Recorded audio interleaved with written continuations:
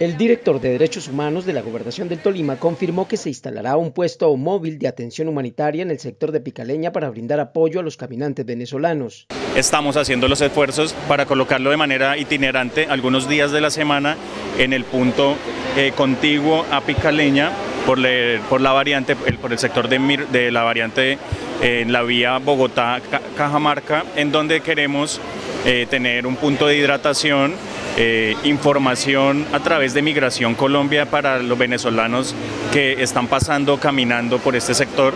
Aunque será de manera intermitente, la idea es poder brindar asistencia a niños y personas que llegan con hambre y en delicado estado de salud.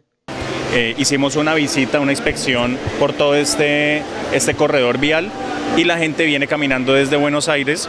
Ellos intentan llegar hasta Boquerón, hay muchos que van con niños, encontramos algunas personas que están, descansan en, los árboles, están en unas condiciones algo difíciles, por eso queremos eh, poner este punto de atención.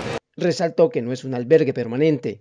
Es que esté una persona de cada institución, es decir, eh, alguien de Policía Metropolitana, Alcaldía de Ibagué, Gobernación del Tolima, Migración Colombia, principalmente, eh, y pues si se puede, vamos a hacer una invitación al ICBF para que nos acompañe. La intención es ponerlo uno o dos días a la semana. Eh, durante horas estamos mirando cuáles son las horas en, las cuales ellos transitan más, ya que hay unas horas y unos días eh, que ellos escogen para, para pasar por la ciudad. Se espera que antes de finalizar el mes el punto esté funcionando en la variante Buenos Aires.